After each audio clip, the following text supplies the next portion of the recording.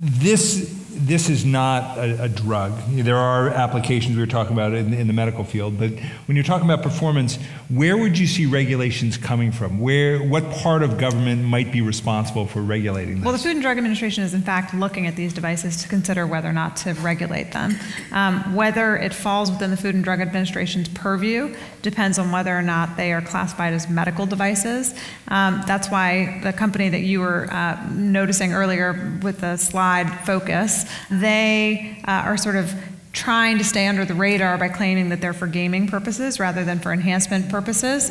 Um, and if they're gaming purposes, then they're not a medical device because they're not intended for the use of diagnosis or treatment of a disease. Once the FDA says, hey, that's a sham game that isn't going to work with us, and that's actually a medical device, it could fall within their purview, and then it would be part of what they would actually regulate.